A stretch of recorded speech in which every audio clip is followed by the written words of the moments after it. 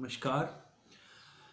आज की इस वीडियो में हम बात करने वाले हैं आयुर्वेद की महत्वता के बारे में। हाँ जी the importance of ayurveda. Actually ayurveda को आज के टाइम पे हमने एक ऑल्टरनेटिव मेडिसिन के रूप में देखा है, जाना है, जो हमारे मॉडर्न प्रैक्टिशनर या मॉडर्न एडवोकेट्स जो उनके हैं, वो इसको एक तरह से एक ऑल्टरनेटिव मेडिसिन के रूप में मतलब हमारी आने वाली जनरेशन को या हमारी आने वाली जो पीढ़ियाँ हैं, उनको बताने की कोशिश की जा रही है कि एक ऑल्टरनेटिव मेडिसिन है। पर ऐसा नहीं है। आयुर्वेद एक कंप्लीट साइंस है कंप्लीट हेल्थ साइंस है। एक्चुअली आयुर्वेद में हम दवाइयाँ, स्वस्थ रहने के तरीके, इन सब के साथ साथ हमारा, ये हमारे लाइफस्टाइल को भी डिफाइन करती है। हमारा हमारा वो लाइफस्टाइल क्या होना चाहिए जिससे हम एक निरोगी काया के साथ अपनी ज़िंदगी, अपनी जीवन को व्यतीत कर सकें।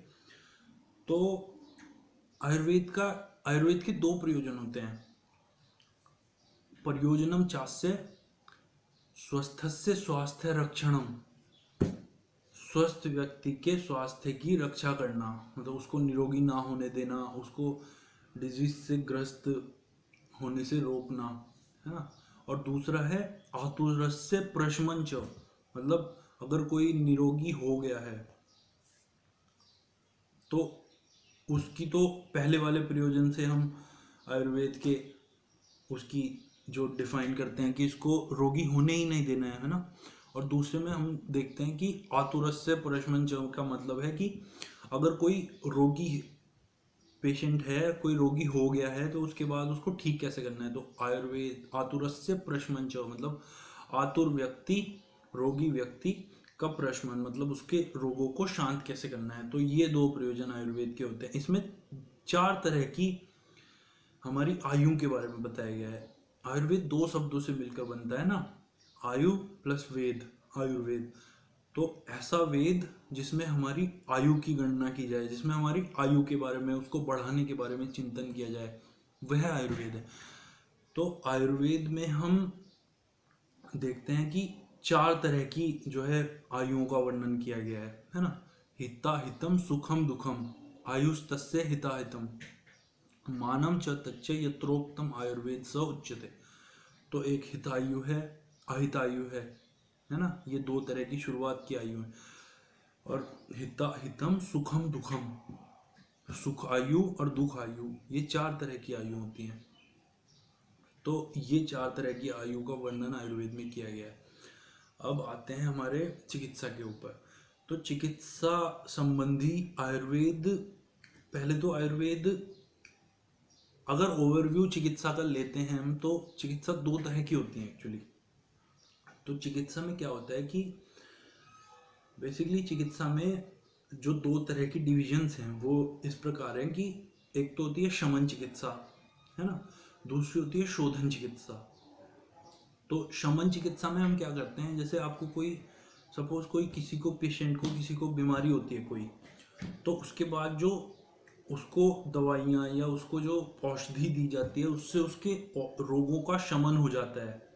तो शमन होने पर वो जो है, उसके रोग दब जाते हैं, उसका उसका उसका जो पेन है, वो प्रॉब्लम है, वो ठीक हो जाती है, लेकिन वो कुछ समय के लिए होती है। अगेन अगर उसने वो जिस जिस प्रॉब्लम की वजह से उसको वो, जिस, जिन कारणों की वजह से उसको वो प्रॉब्लम हुई थी, अगर वो उनका सेवन फिर से करता है, उनका अगर किसी को जो है पंखा या एसी से अगर जुकाम होता है तो दवाई लेके ठीक हो गया और अगले दिन वो फिर से रात को इसी में सो रहा है और फिर सुबह उसको जुकाम हो जा रहा है। तो ये ये जो चिकित्सा होती है, ये शमन चिकित्सा के अंतर्गत आती है।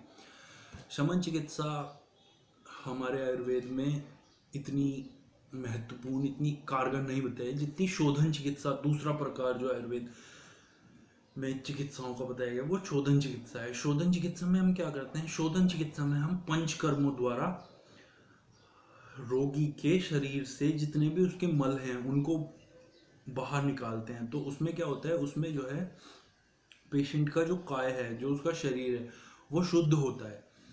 तो शुद्ध होने पर उसके शरीर में अगर वो फिर से रात को एसी में सो रहे तो अगले दिन उसको जुकाम नहीं होगा। तो लेकिन एलोपैथ में क्या है एलोपैथ में होता है कि एलोपैथ में शमन चिकित्सा को ज़्यादा महत्वता दी जाती है।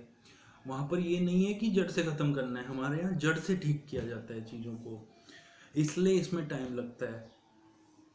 और मतलब जिन चीज़, बहुत सी ऐसी चीज़ें हैं जिसमें, जिसके, जिसका आयुर्वेद में ही सिर्फ़ उपचार मिल सकता है आपको, और जो है, उसमें एलोपैथ में उसका कोई उपचार नहीं है। जैसे रोमेटॉइड आर्थराइटिस हो गया, है ना?